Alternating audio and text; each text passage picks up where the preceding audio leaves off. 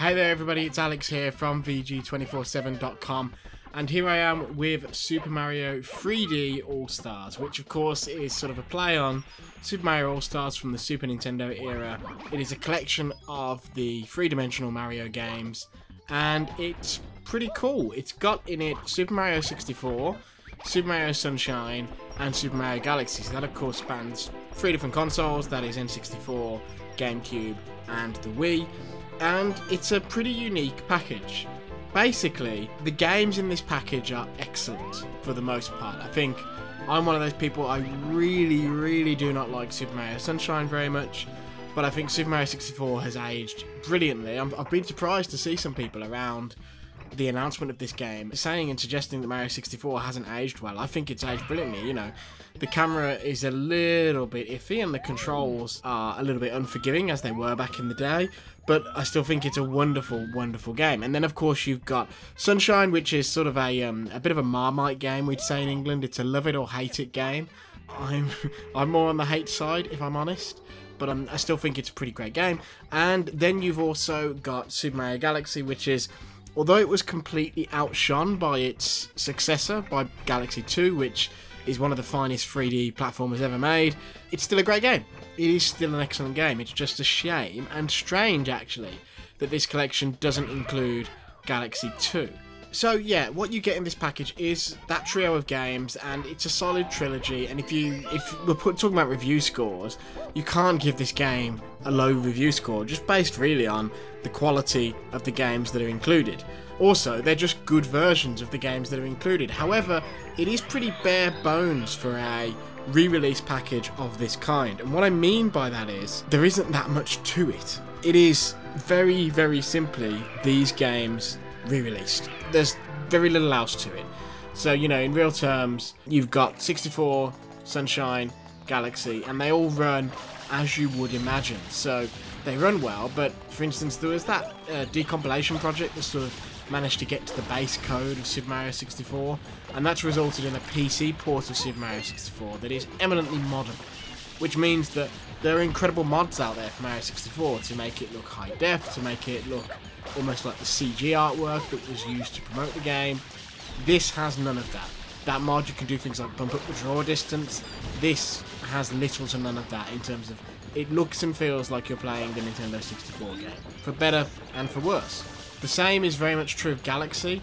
It's been improved in some ways. There's some changes to the to the graphical presentation, but in real terms, Galaxy actually was the one that, that feels the strangest because obviously it was on the Wii and it relied on the Wii remote, and there's still all the sort of control flares that are to do with motion controls.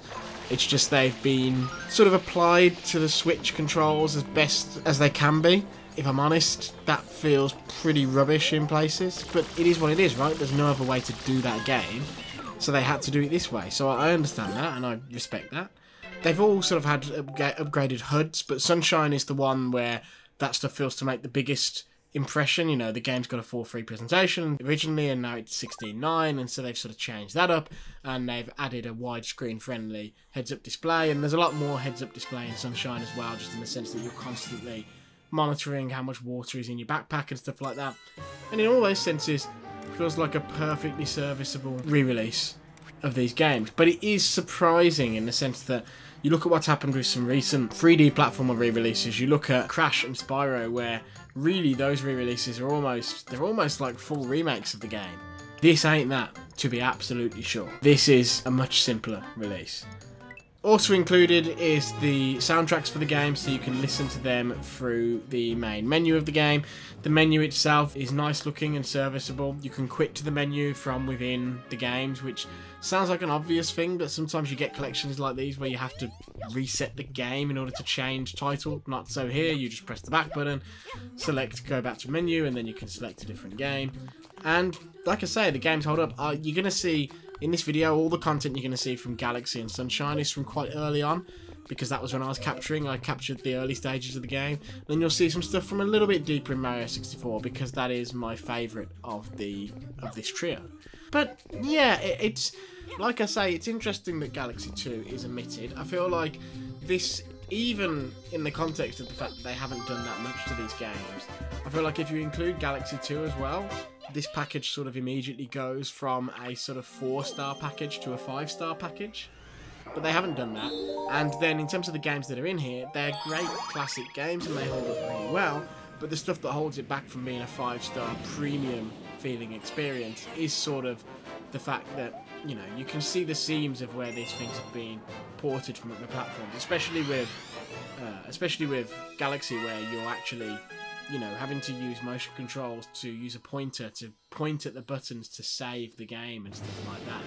Um, it feels like it would have taken not very long at all for them to sort of just make those menus respond to normal controls, but whether it's out of just not wanting to do it or out of wanting to maintain authenticity to the original, for whatever reason, it doesn't have that. And the same sort of stuff is true of Mario 64, where we've seen uh, on the PC fan-made port, we've seen that this game can look pretty good in widescreen presentation. Doesn't have widescreen presentation. They've redrawn some of the sprites and stuff like that, but it is the game as it was on the N64. That's the other thing, of course. There was a Nintendo DS version of Mario 64 that changed the game significantly, and I certainly get why they've used the N64 version. I think it's the better version of the game, but it's it's a shame that some of the quality of life changes from the DS version haven't made it over. But yeah, that's about it. I don't have an enormous amount to say about this. It's a re-release of a trio of classic games. It's worth noting that it's seemingly a limited re-release in the sense that Nintendo have said it's going to be on the sale until like the end of March next year. But after that, it's not clear. Are these going to be out of print? Are they just going to disappear entirely? Are they going to sell them separately, digitally? We don't know. But if you want it, my advice is just to grab it, just to be safe. And yeah, it's it's hard to complain, right? When when you get a, a collection of games this good, it feels extremely bicky to say, well, they haven't done enough to them, they haven't changed them enough, they could have done more work. But I'm not going to stand down from that. They definitely could have done more work. Arguably, they should have done more work. But for whatever reason, they haven't. These are the games we got. They are the games as they were, more or less, back in the day. And that still makes them excellent. It's just a shame that they didn't do a little more to enhance the value proposition of this package. And it's a shame also because these are being released for Mario's 35th anniversary, right? And you want something big to sort of celebrate the occasion, and it doesn't feel like it quite stands up to that. You know, you compare it to the Super Nintendo Super Mario All Stars. Say what you will about that release, some people really don't like it, but it took those original Nintendo Mario games and put them on the Super Nintendo with new art, with slightly changed physics, with some other bonuses, and that was really great. This is not like that. This is the original games absolutely preserved. If you like this video, don't forget to give us a like, give us a subscribe, all that stuff. It really helps us out. If you ring the bell, you'll be the first to see all the new stuff from VG 24-7. And of course, we're hitting an exciting time with next generation hardware and stuff now. So stick with us and you'll get all that and more. Until next time, everyone, though, see ya.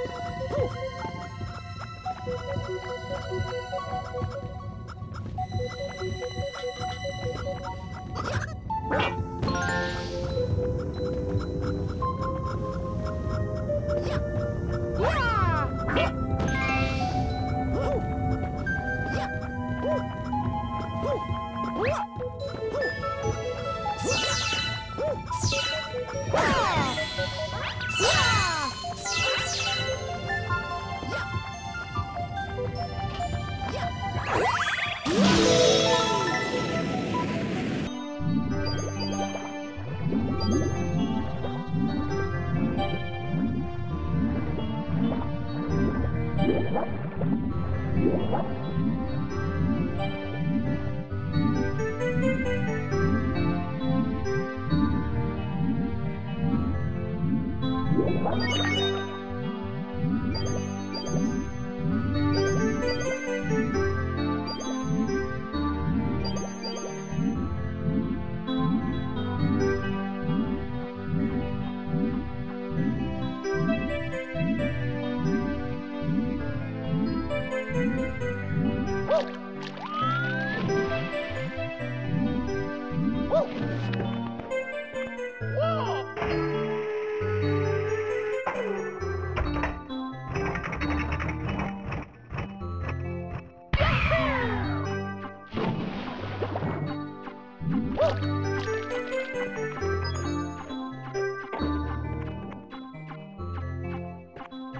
Here